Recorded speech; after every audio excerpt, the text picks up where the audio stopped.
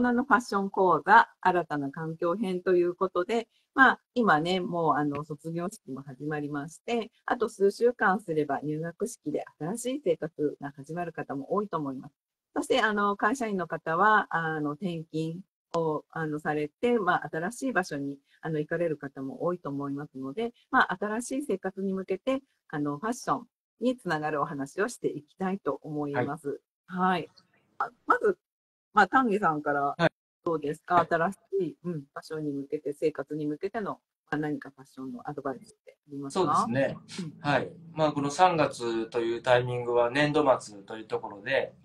えー、サラリーマンの方なら転勤があったり、うん、えー、新しく新卒の方ならの4月から新しい会社にお勤めになったりということで、あの、出会いの機会と別れの機会が両方あの訪れるタイミングだと思うんですけど、まあ、そういう時に新しい人とあのまあ本当にプレゼンテーションをする上で洋服ってすごくあの重要な役割を果たすと思うんですね。初めましてっていうところで本当にこ言葉の表現よりも先にこの人はどういう人なのかなっていうのを感じ取る上で洋服って面積が大きいのであのそういう意味であの自分らしいファッションスタイル、そして相手に信頼されやすかったり、清潔感があったりっていうファッションスタイルを、えー、まずはした方がいいのが、このタイミングじゃないかなというふうに思います。そうですね。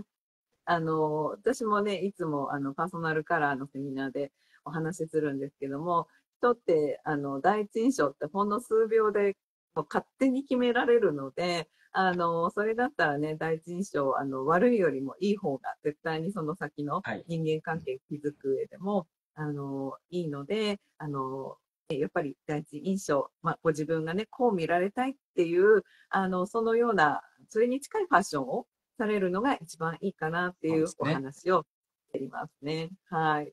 そう、なんかすごいたくさんの方見てくださってて、ありがとうございます。で、もうちょっと具体的な話に踏み込んでっていいですか？うん、どうぞどうぞ。じゃあ、あの、自分らしい格好とか、あと、その、相手にどう見られ、どう見られるのが望ましい格好なのかっていうところを、えー、判断基準に洋服を選ぶ場合に、何が大切かっていうと、あの、男性の場合は、まあ、壮年男性、要は、仕事でジャケットやスーツを着る機会がある男性というのは、ビジネスユースとしてスーツやジャケットを選ぶ上でクラシックスタイルというルールに乗っているのか乗ってないのかっていうところの判断基準があるのでそれをまず座学で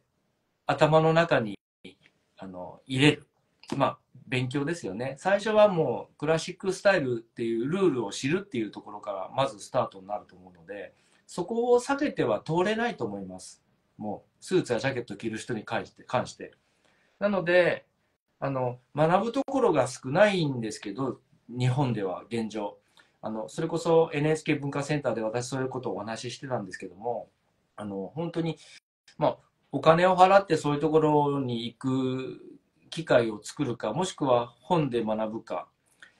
して、えー、勉強するのが、まず第一にやりやりたいなというところではありますね。そうすると、クラシックスタイル、ビジネスユースとして使えるのはクラシックスタイルなので、クラシックスタイルの中に入っているのか、外れているのか。外れているってことはもうモードの世界ですよね。流行に左右されて、淘汰されていく、そのデザインのものっていうことになるので、あのクラシックスタイルの範疇になっているものを自分が着る、着ているっていうことをちゃんと理解できると思うんですね。そういう意味で、まずは座学が必要だと思います。うんうんまあね、しっかりとそのあのファッションのルールとかスタイルを身につけることで、あのまあ、男性の場合は特にこう自分の仕事の幅も広がったりとか、まあ、ステージアップしたりとか、まあ、そういったところに直結する話でもあるかなっていうふうに思うんですけども。ね、はい、うん、それが信頼だったりにつながってきます。うん、はい、そうですね。本当に、あの、私も、あの、セミナー企業様とかね、あの、行政の、あの、セミナーもやる、あの、開催するんですけども、やっぱり企業の方だと、あの、男性営業職の方が多くて、で、それで、あの、やっぱり第一印象というか、そのご自分のその職業、職種にすぐにお客様が見て、あの、その印象を与えるようなファッションスタイルっていうのを、あの、が必要だということをね、伝えてほしいっていう要望がすごく多いです。はい。うん、で逆に言うと、ね、女性は、まあ、働いてる女性はね、あの、ご自分のその職種に合わせて、いろいろとね、ジャケットのタイプだったりとか、まあ、アクセサリーだったりとか、まあ、髪型とか、あの、それを変える場合ももちろんあるんですけども、この新しい季節っていうと、あの、普段着慣れないものを着ること、機会も多いのかなって思うんですね。で、それは何かっていうと、あの、卒業式とか入学式できる、あの、まあ、晴れ着と言われるね、晴れの日に着る、あの、まあ、スーツだったりとか着物だと思うんですけども、あの、その際ね、最近、あの、そういった、式典って言われる、こう、フォーマルなところに、あの、行く場合も、結構カジュアルな、あの、なんだろうな、考え方をそのまま取り入れて、カジュアルに、こう、なんとなくこう、カジュアルな服に、あの、できていかれる方がすごく多いっていうふうにお話も聞きますし、私も見ることが多いので、あの、やっぱりね、あのメリハリをつける意味でも、あの、式典って言われるところには、それにふさわしい格好で行くっていうことが必要になってくるんじゃないかなって思います。そうですね。はい。うん、あの、まあ、洋服って服装、服、単なる服だったら、あの、部屋着で自分が楽するために家で、あの、ジャージでもいいんですけど、いざ外に出て人と会うとなると服装っていう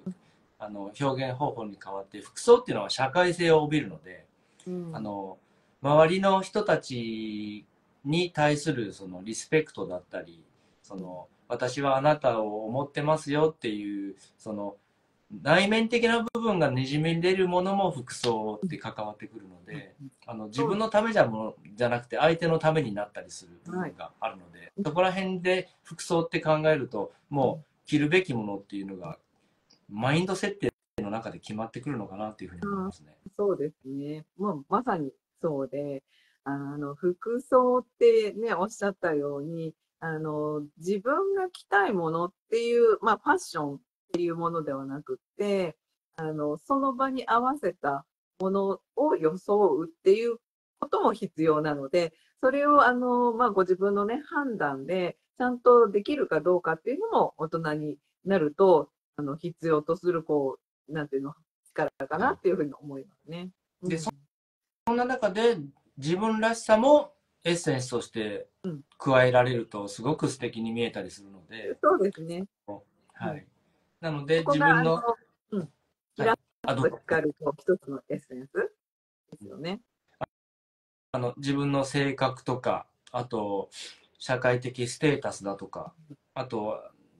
どう見られたいのかとかいうのを、あの、洋服の素材とか色柄とか、あとコーディネートに加えていくと、すごく、まあ、ノンバーバルコミュニケーションっていうんですけど、言葉言葉じゃないその相手へのプレゼンテーションになるっていうところですね。そうですね。本当に。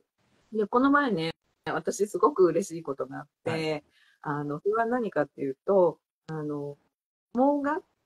校の高等科、高校生の方に向けて、え、これから社会人になるための身だしなみ講座をしてほしいというご依頼があったんですね。で、あのや、っぱり社会に出るために必要な服装ということで、男性だったらスーツスタイルで、まあもちろんネクタイ。で、女性も、えー、まあ、あの、ちゃんとね、した、まあ、スーツスタイルっていうことと、あとお化粧ですね。なので、あの、社会に出た時の身だしなみの大切さを伝えてほしいっていう講座を、はい、あの、ご依頼をいただいて、あの、してきたんですけども、あの、高校生に、まあね、高校生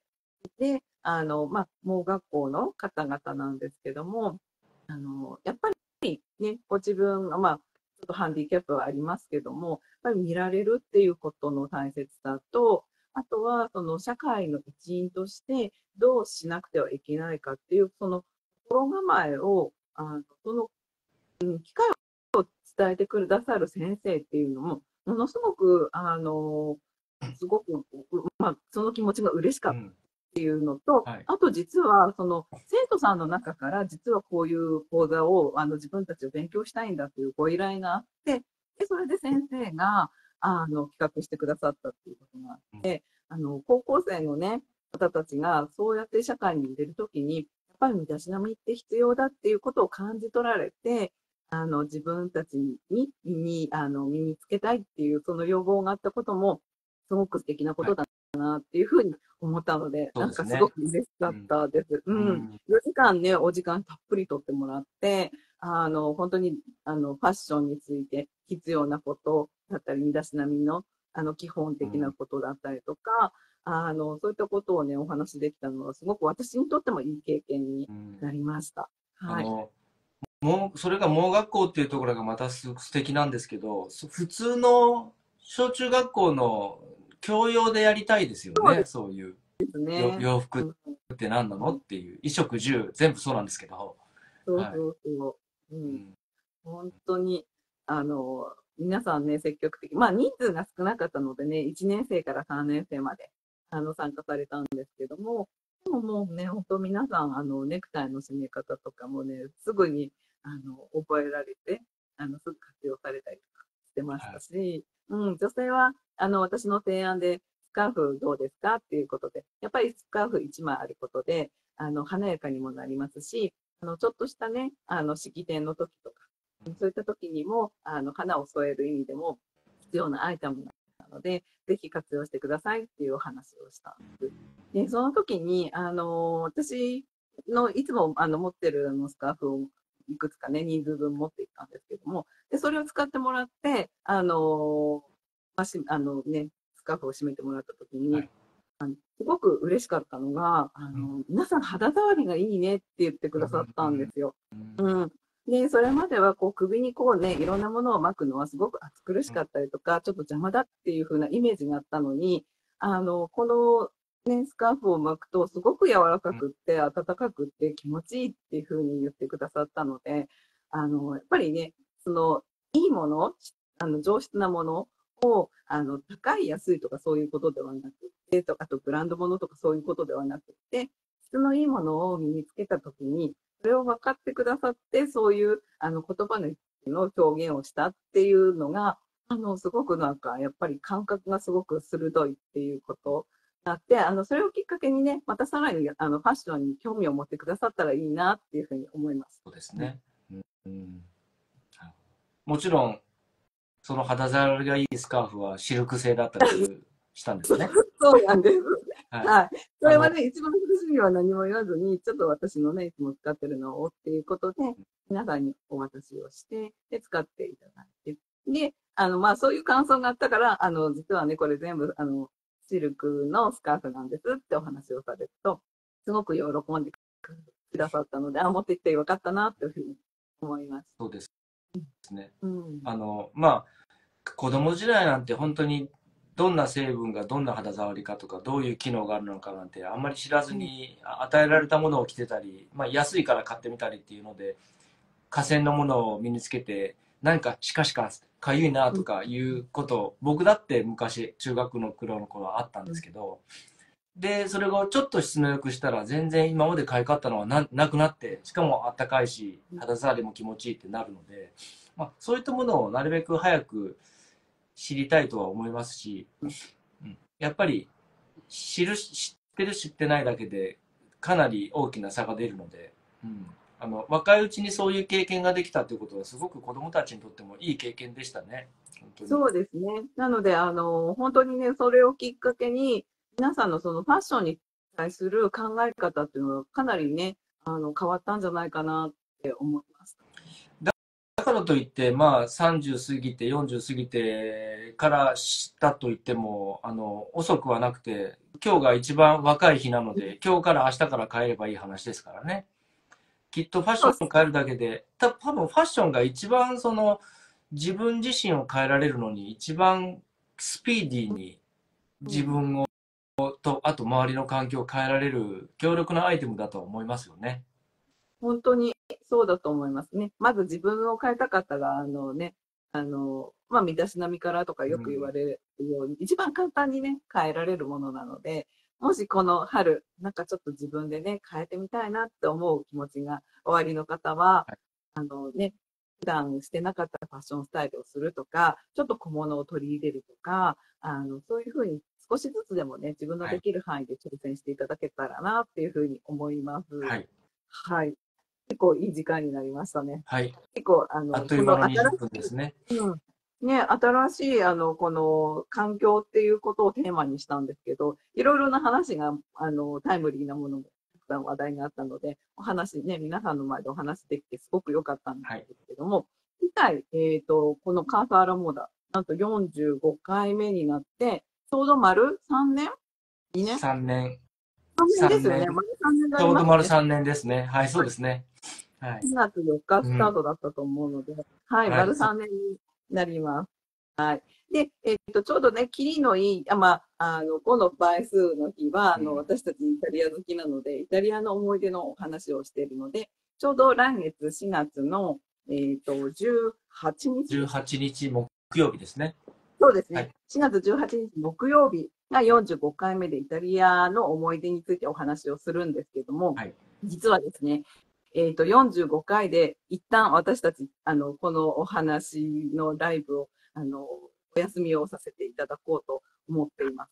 はい。で、えっ、と、それはですね、ちょっと私事なんですけども、あの、新たな挑戦を始めまして、あの、本気で、あの、英語を身につけようということで、ちょうど今日か、今日で1週間になるんですけども、1週間前から、あの、1日、あの、かなりの猛勉強をスタートをしてまして、で、なかなかこの、あの、1ヶ月に1回のライブも難しい状況になっていました。はい。なので、あの、大変、本当に、あの、残念で寂しいことではありますけども、いえいえ、あの目標があるので。はい。はい、にしまして、あの、またね、1年後以降で、あの、また、この場で、あの、英語をちゃんとそうですね英語の発表、英語でコミュニケーションを取るっていう目標も含めて頑張ってください。応援してます。はい、披露ができればいいなっていうふうに思ってますし、まあ私自身もね、今自分のアカウントでは一人であのライブもできあのやってないんですけども、ちょっと英語とかいろいろなね、で話ができたらいいなっていう目標がありますので、あの、今日ご視聴のくだくださってる皆様で、えっ、と、なんか応援いただけたらすごく嬉しいです。はい。ということで、えー次回の45回目で一旦終了となります。はいで、えー今日の、えーファッションチェックですけど、丹下さんは？はい。えっ、と、今日は、まあ、そのテーマにのっとった形で、初めてお会いする場に行く想定で、まあ、ネイビージャケット、一番その、なんなんていうかな、信頼、信頼感が得られるそうな、あの、ネイビージャケットに、あとは自分の個性として、中にブラウン、グレーとブラウンのちょっとチェックの、あの、遮奪な感じのシャツに、同じ同系色のブラウンのタイに、中に、あの、ジレを刺し刺し。なので、バラシのスリーピースなんですけど、そんな格好で、信頼と清潔感を雰囲気に出しつつ、自分なりの個性も入れて、であと、アズロエマローネの合わせで、イタリアも好きっていうのがちょっと、ノンバーバルで伝わるような、そんなイメージを持って、コーディネートしてみました。なるほど。今日、ちょっと色かぶりましたね。ちょっと被りましたね。あネイビー系。はい。アズロアズロで。はい。ちょっと色かぶり。あの、ほとんどね、結構私たち色かぶりなんですけれども、ね、そうです。はい。私、今日ね、はいブルー系というか、マズーロ系なんですけれども、あの、これはね、この前、前回お話しした、えっ、と、韓国で、あの、洋服を2着買ってきましたっていうお話をしたんですけども、そのうちのもう1着目です。ああの、そうちょっと、そうなんですね。はい。あ、ほん、ちょっとツイーディーな感じですか？そうです。ツイードのジャケットなんですけど、あの、こういった色目ってなかなかむ珍しいなと思ったんですよ、ブルー系は。爽やかな感じです。うんはいなので、あのこれからの季節着れるなと思って、これも、はい、てきました。はい。すごくね、あの、日本にはない、あの、デザインが多かったので、あの、皆さんもね、ぜひ韓国に行かれた場合、結構ほとんど皆さん、ミョンドンに行かれることが多いと思うんですけども、ちょっと足を伸ばして、あの、そうするとね、すごく大きな、あの、アウトレットの、あの、ビルが、こう、いくつかあるんですよ。で、そこに行かれると、すごくいろんなものが見られるかなっていうふうに思いました。はい。ということで、えー今日、えー、カーサーロモーダ44回目のインスタライブ終了となります。ははいい。次回に、えー45回目イタリアの思い出を2人でお話をして一旦終了となりますので、はいぜひ遊びに来ていただければと思います。次回4最終回月どうぞご覧ください、皆様。4月19日の木曜日。18日、18の木曜日の同じ時間、7時スタートという形で。はい。4月18日木曜日の19時スタートになります。はい。はいぜひ、あの、また皆様お待ちしておりますので、ぜひお越しください。はい。今日もありがとうございました。あそれではまた。それではまた。